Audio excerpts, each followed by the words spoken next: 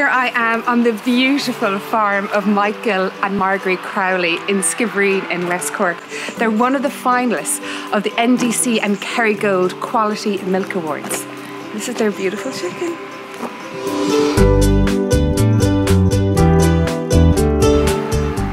Hey Michael. Hi Clodagh. Hi. Lovely to meet you. Same to you. Welcome to the Crowley family farm. Thank you. Yeah. You want to see around the farm? I'd love to see around the farm. Yeah, we'll go this way, so please. I mean, look at this grass. Beautiful grass. I mean, beautiful feed, right?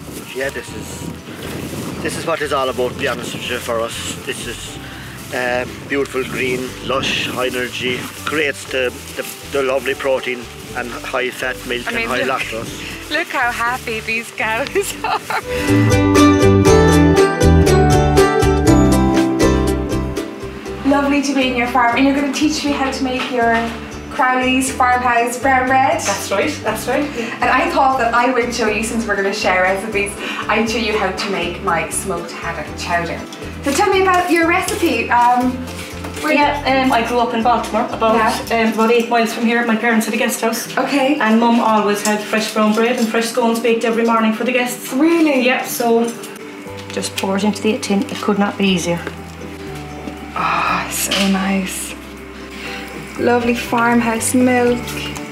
Last thing that we need is that beautiful Irish cream to give it gorgeous texture and richness and